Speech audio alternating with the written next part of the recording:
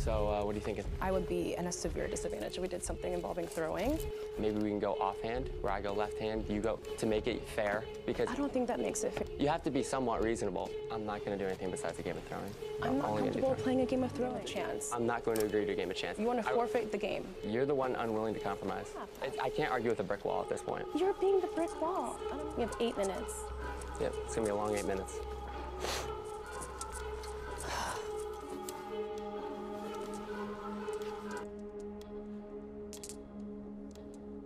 Man, that was a painful one to watch. Was there a more polarizing elimination in Squid Game The Challenge? Unfair, frustrating, heartbreaking, infuriating. This is how some fans describe the infamous double elimination marble suicide pact. Is there a word for the opposite of Ganbu? How the hell did these two even pair up? I had to rewatch the whole series because I didn't even remember hearing from either one of them before Marbles. Neither got a lot of screen time, and we barely heard them talk, so there wasn't much to go on that would lead people to root or not root for them. They seemed to be both mild mannered and mostly blended into the background, and when we did see them, it was usually because they were adjacent to a main character. What if I answer the phone and they're like, okay, we have a deep dish pizza back here just for you if you eliminate one person? I wouldn't blame you. Two days of eliminations like this. Yeah. I think this is the worst way to go. From the outside, I feel like you guys might look like an alliance, maybe a little bit. Oh, that's a power move. Oh. Oh, squeezing, squeezing, squeezing, squeezing. though it didn't appear that either one of them was in an alliance or clique. So, why did so many people have such strong emotions about it?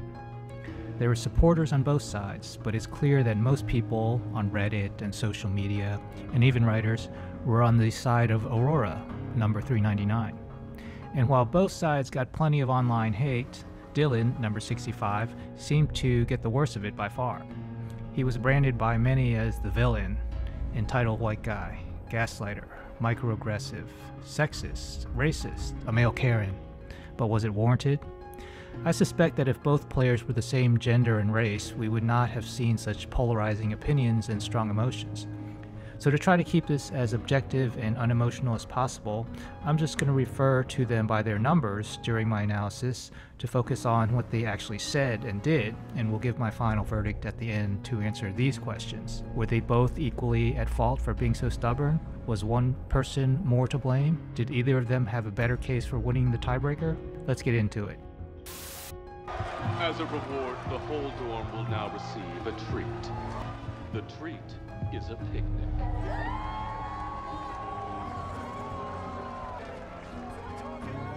Unlike most of the other pairs, these two were not friends, and it wasn't even clear if they talked to each other before the picnic. They linked up, ironically, because they were afraid of being left out without a partner and being eliminated. By the way, how did none of these players see the Marbles bait and switch coming? In the Korean original show, Marbles was next and they were tricked into pairing up. We're at 63 people.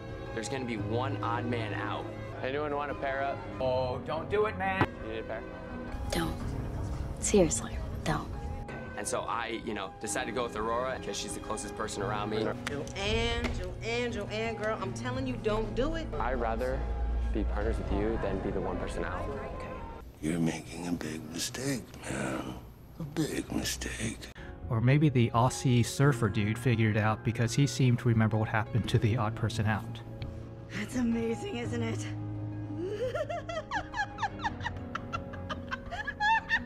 Remember, she's a witch and dangerous. In any case, we saw that the duo almost immediately got off on the wrong foot. So uh, what are you thinking? I would be in a severe disadvantage if we did something involving throwing because I'm not good at it. Not good at it, okay? And I wanted to propose a strategy game. No, because we all know how the strategy games work. How do they work? We could maybe agree on something in the middle ground that's like more up to chance. Here's my thing. I don't want to go home and say it was because I got unlucky. Maybe we can go offhand, where I go left hand, You use your left hand or your right hand for that? to keep it as somewhat of a skill to make it fair. Tell you what's fair, what's not. Because I don't think that makes it fair, dude. 'cause h- I- how? That makes no sense. You have to be somewhat reasonable. Be reasonable. You're threatening our lives. You see, Lord Vader, she can be reasonable. clock is ticking. Just two days earlier, they both saw what happened when people refused to budge. They saw eight players eliminated when they couldn't agree on their cookie shapes. But in Dalgona, it was more understandable because whoever picked the umbrella was at a huge disadvantage and would likely be signing their death warrant. Also, they had a whole line of people counting on them. Clock is ticking. You can pick the game, but I really don't want to do a, a game of throwing. I'm not going to do anything besides a game of throwing. Then I guess we're both in quite a similar position. I'm sure we can come to some kind of compromise. And only going to do a game of throwing. Yep, I'll go. I'll go any game of throwing you want that involves more than one marble. Nothing short of compromise. Never compromise. I'm not only gonna do comfortable throwing. playing a game of throwing. You don't have to raise your voice. It's fine. I'm not raising my voice. You, it's okay. Do not raise your voice at me. Don't you raise your voice at him! Don't you ever raise your voice at me. I thought you were a competitor. I am a competitor. That's why I'm Clearly not not. going to fold. Clearly not. You're a competitor with a big ego. Why are you being so stubborn? I'm giving myself a chance to win, as you should. If you are not so stubborn, you would make a great queen. Terribly sorry. I'm afraid he's ever so stubborn about these sort of things. I would make a great queen because I am so stubborn. The clock is ticking, John. I, would rather go off on a game of chance. I'm not going to agree to a game of chance. You want to I- forfeit the game. You're the one unwilling to compromise. Compromise. Will you risk it all? No compromise. What do you mean? I proposed so many compromises. You're the one who's sitting here like this. I'm not going to fall into your trap. It's a trap! It's not I'm a done it. trap. What if it's a trap? Turn around and do not come back. I can't argue with a brick wall at this point. You're being the brick wall, and I'm not trying to argue with you. I'm trying to compromise. Why can't you compromise on this? Well, there's no sense in us both going down. We have eight minutes. It's going to be a long eight minutes. And the clock is ticking. I need your help.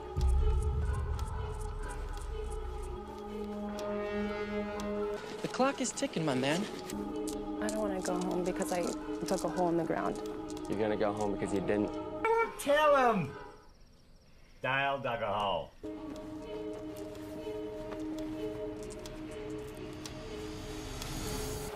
On, guys! The clock is ticking! What's it gonna be? All right, you win. I'll play a game. We have two marbles, and I guess the closest thing to putting it in that, yeah, does that feel equal to you? All right. Move, hurry up. Go, please.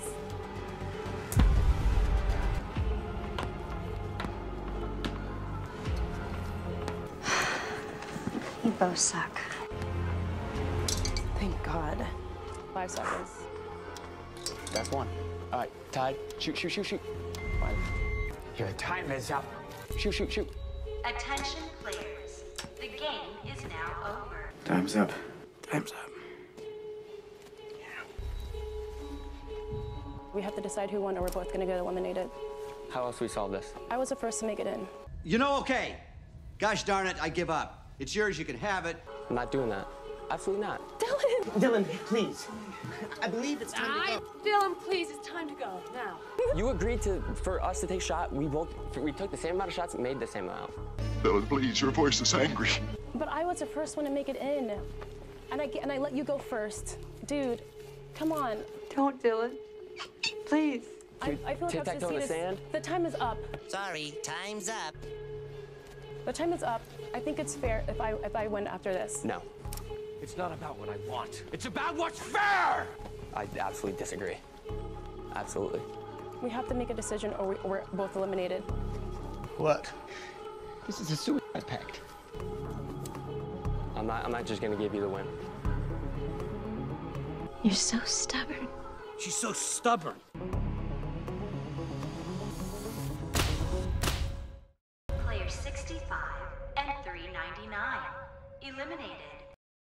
There was a lot that we did not see that was left on the editing floor, and both 399 and 65 have claimed that they wish that the entire unedited video could be shown to boost their respective cases. I've read a lot of comments on Reddit and social media, and I'm going to summarize the main points that the commenters have made in favor and against both of them. Let's start with the arguments in favor of 399.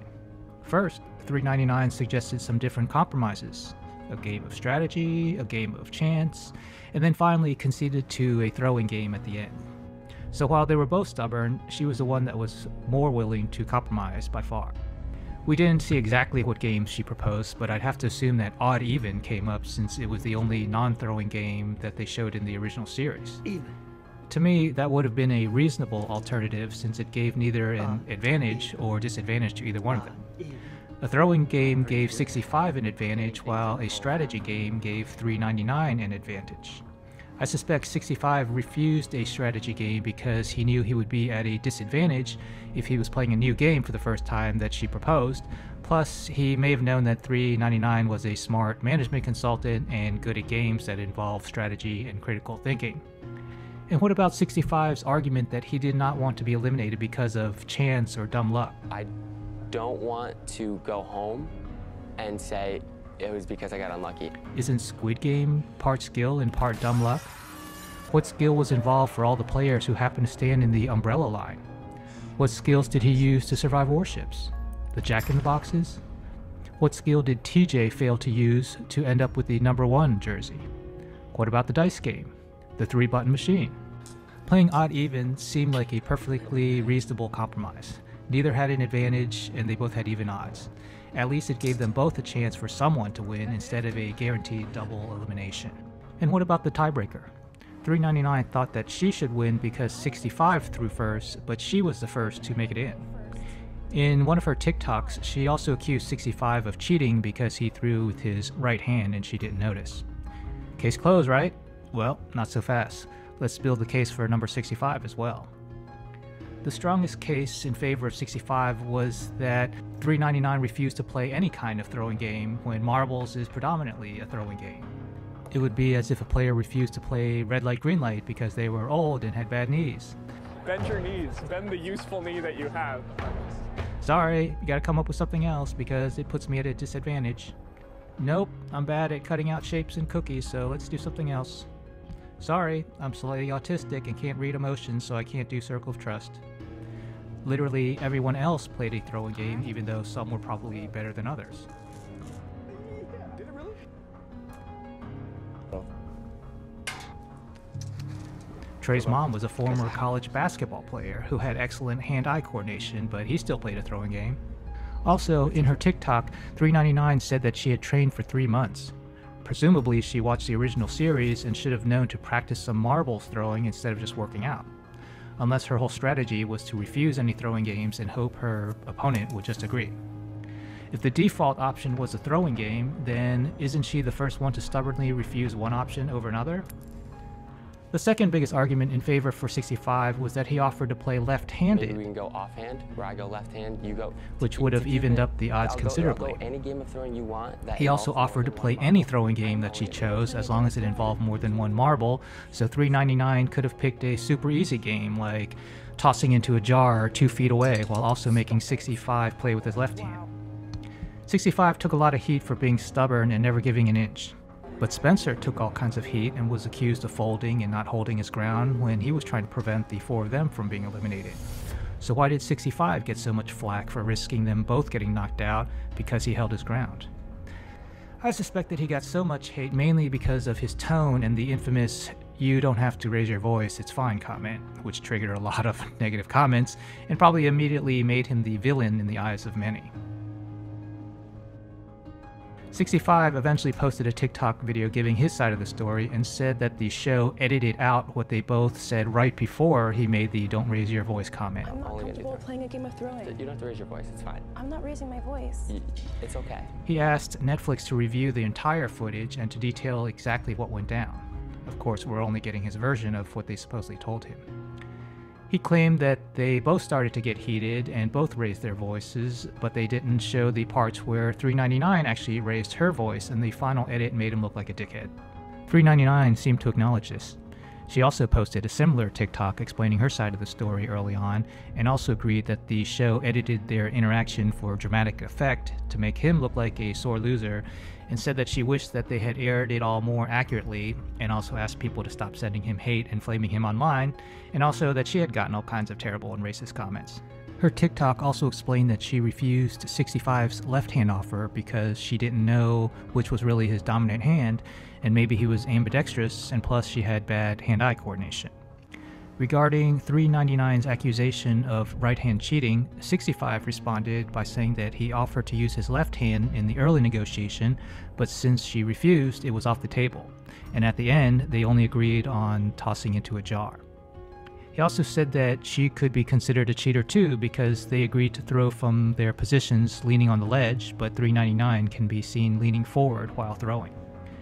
In other words, during marbles, a game for kids, they ended up bickering exactly like little kids.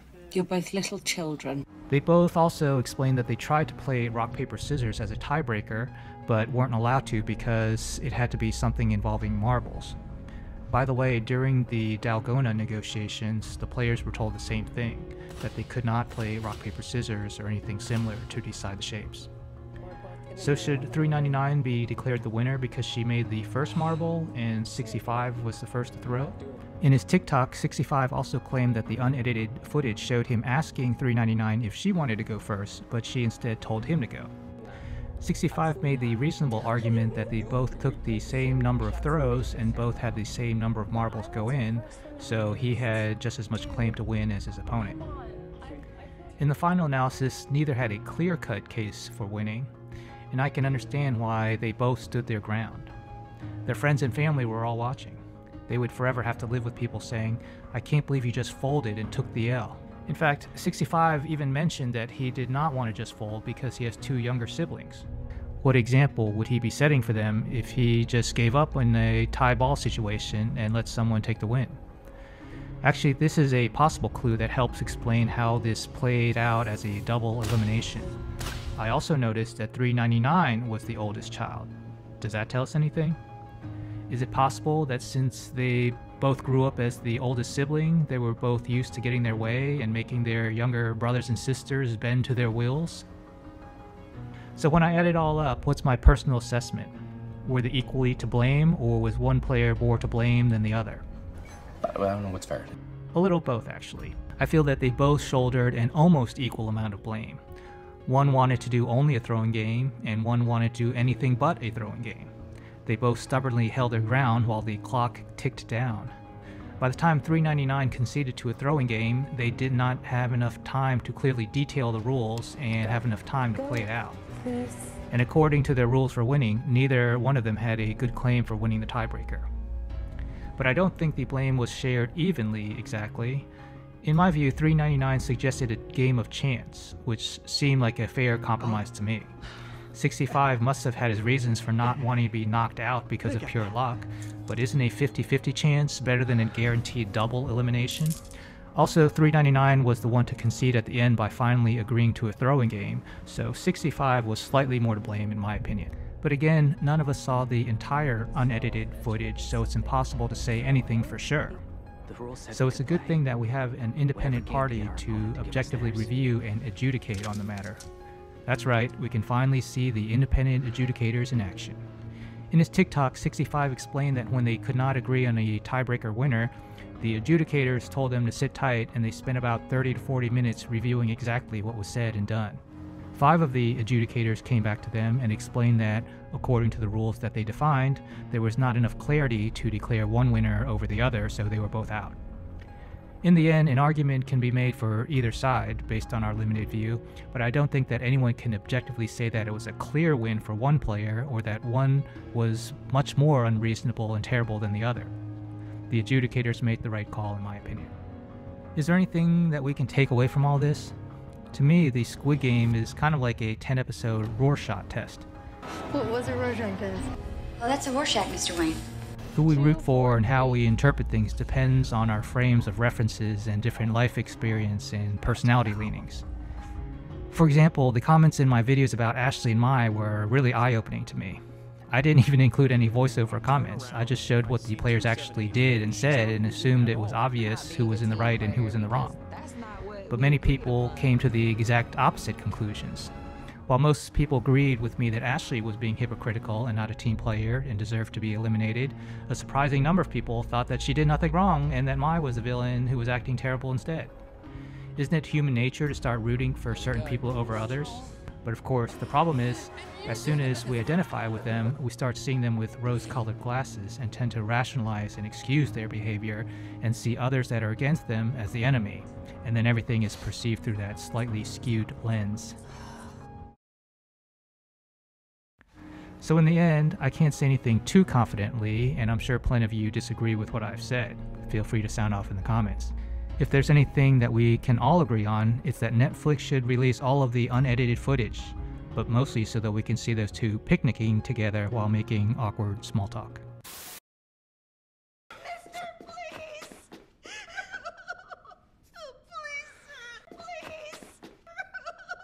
I'm not doing that. Absolutely not. Dylan!